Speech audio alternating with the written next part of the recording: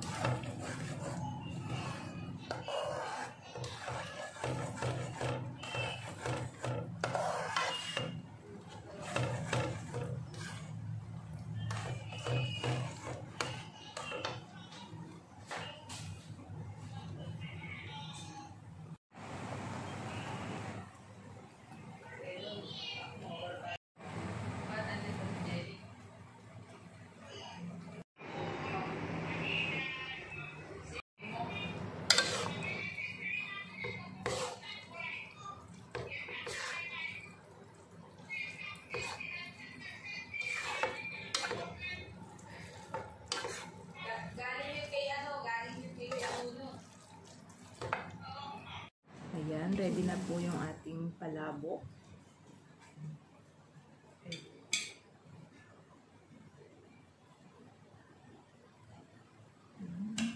So, dagdagan po natin siya ng konting sauce.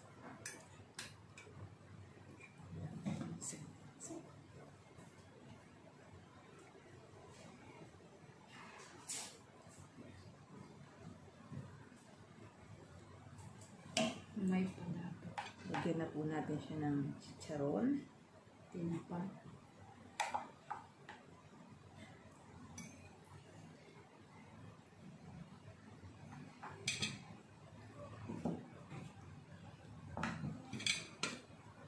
at ng tinapa.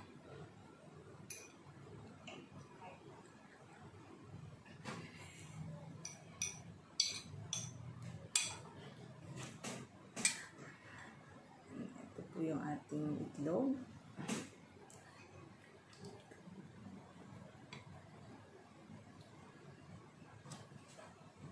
At syempre, hindi mawawala ang kalamansi. Yan. Yan, kain na po tayo. Yummy.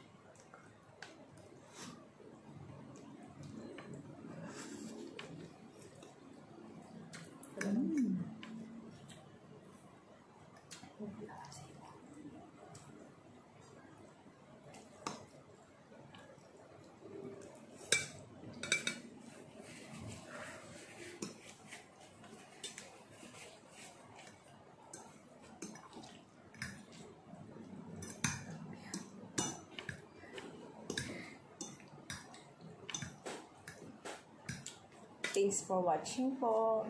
Bye-bye.